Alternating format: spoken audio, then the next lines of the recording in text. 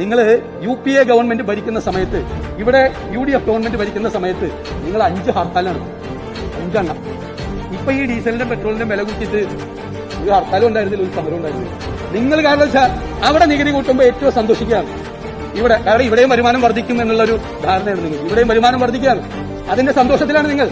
ഞങ്ങൾക്ക് വിരോധമില്ല. നിങ്ങൾ അന്ന് അഞ്ച് ഹർത്താൽ നടത്തിയതാണ്. ഏത് ഏത് കാലത്താണ്?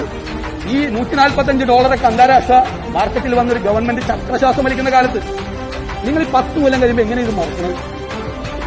എങ്ങനെ ഇത് മറക്കുന്നു പത്ത് കൊല്ലം കഴിഞ്ഞപ്പോൾ ഇങ്ങനെ സംഭവമില്ലാത്ത മറ്റ് നേരെ ആ കസേരയിൽ ചെന്നിരുന്ന് അത് പറയാണ് നിങ്ങളൊക്കെ തന്നെ പ്രസംഗിച്ച ആളുകളാണിത്. ഈ ഒറ്റ കാര്യം പറഞ്ഞ് അവസാനിപ്പിക്കുക സാറേ.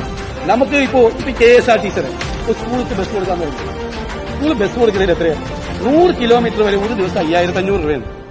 ഒരു ലക്ഷത്തി പതിനായിരം രൂപയാണ് ഇരുപത് ദിവസത്തേക്ക് ഒരു K S R T C bus ഓടാൻ. ഒരു കുട്ടിക്ക് സ്കൂളിൽ പോകണമെങ്കിൽ നൂറ്റി അമ്പത്തേഴ് രൂപ കൊടുക്കണം ഈ K S R T C bus സ്കൂളിലേക്ക് കൊടുക്കാതെ ബസ് നൂറ്റി അമ്പത്തേഴ് രൂപ. ഏത് കുട്ടി പോകും സാറേ? നൂറ്റി അമ്പത്തേഴ് രൂപ ഒരു ദിവസം കൊടുത്ത് സ്കൂളിൽ പോകും. അപ്പൊ നിങ്ങൾ എന്താ ചെയ്യേണ്ടത്? ഇത്തരം ഘട്ടങ്ങൾ എന്നതേ സ്കൂൾ തുറക്കുന്നു.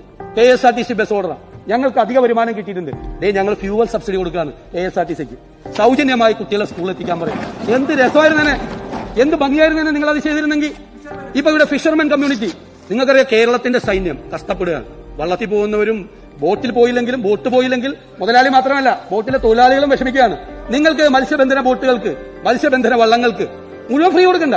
നിങ്ങളൊരു സബ്സിഡി ഒരു ഒരു ഒരു ലിറ്ററിന് ഒരു ഇരുപത് രൂപ വെച്ച് നിങ്ങൾക്ക് കൊടുക്കാൻ പാടില്ലേ? കൊടുക്കാൻ പാടില്ല? പാവപ്പെട്ട ഓട്ടം കിട്ടാതെ ഇവിടുത്തെ ഹോസ്പിറ്റാലിറ്റി ഇൻഡസ്ട്രി മുഴുവൻ തകർന്നു കിടക്കുന്ന ടാക്സികൾ ആ ഓട്ടോറിക്ഷക്കാർ ആ ഓട്ടോറിക്ഷക്കാരന് ഒരു അഞ്ച് ലിറ്റർ ഡെയിലി സബ്സിഡി നിരക്കിൽ കൊടുത്തു കഴിഞ്ഞാൽ ഉച്ചയ്ക്ക് അയാൾക്ക് ഭക്ഷണം കഴിക്കാനുള്ള പൈസ കിട്ടുമല്ലോ.